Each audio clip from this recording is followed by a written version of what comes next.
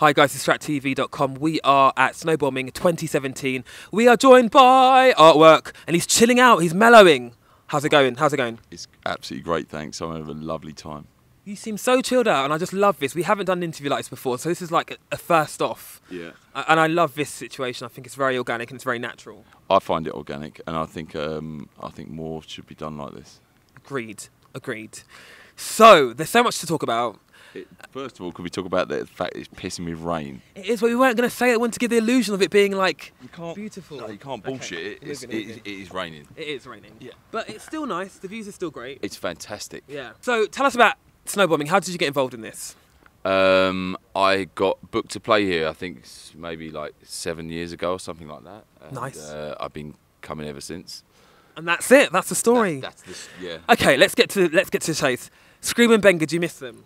No, because I see them all the time. Brilliant. Good answer. And in terms of D&D, because I know that you had a massive, massive garage set up back in the 2000s, early days. Yeah. So for you, obviously there's a whole resurgence now and it's all coming back. Yeah. Do you think that's the direction that's going to happen for you? Because I would be very excited by that and I'm sure a lot of other people would. I haven't thought about it to be fair until you just said it, but now Brilliant. now I'm really excited. Well, you should be. you should be. Um, I don't know. Um, I didn't know this was happening Okay. because I, you know, I don't really have my finger on the pulse. I sort of, I only listen to my own mixes and Okay. uh, and my own records. So. Fair enough. Shit, sorry, my phone's on. Oh, Um, leave the phone. This is very, you no, know, it's fine. This is important. it's important. Um, no, I, I mean, I'm all up for it. Uh, you know, so as long as I can, you know, sell some old records again. Well, because, you know, all the greats are touring again, Miss Dynamite, you know, Oxide and Neutrino, Yeah.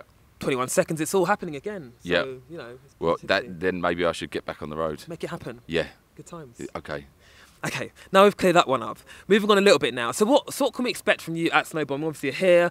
What can we expect from you sound wise? What are you going to play? What's the kind of direction? Uh, well, uh, tomorrow we are uh, myself, Skream, and uh, Denis Sulta are up uh, at the. We're on a mountain. Oh my God, we're going to be there for that. Yeah. So we're playing. Uh, we're doing sort of a, a. Well, we've done a sort of disco battle for the last Okay. few years. So it's been.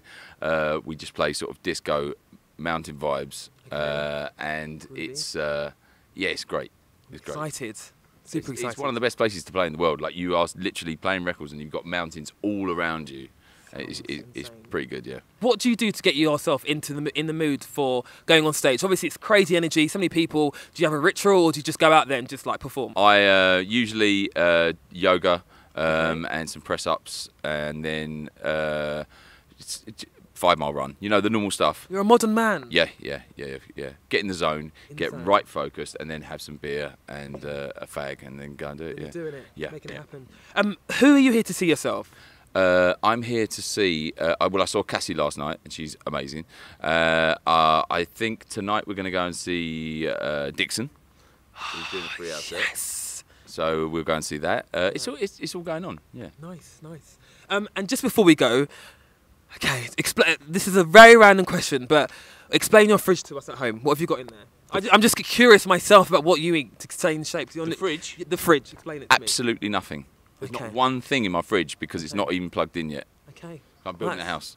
Are you? My God. Yeah. So advanced, so advanced. I know. Yeah.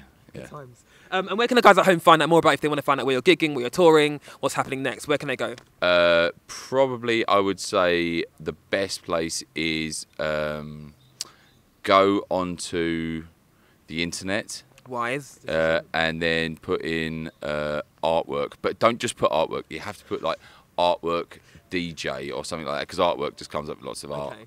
It's a shit name. It's I, not very. It's not very. It's very Nah. generic. Is Well, it? not not in an offensive way because I don't want to do that. I am quite offended.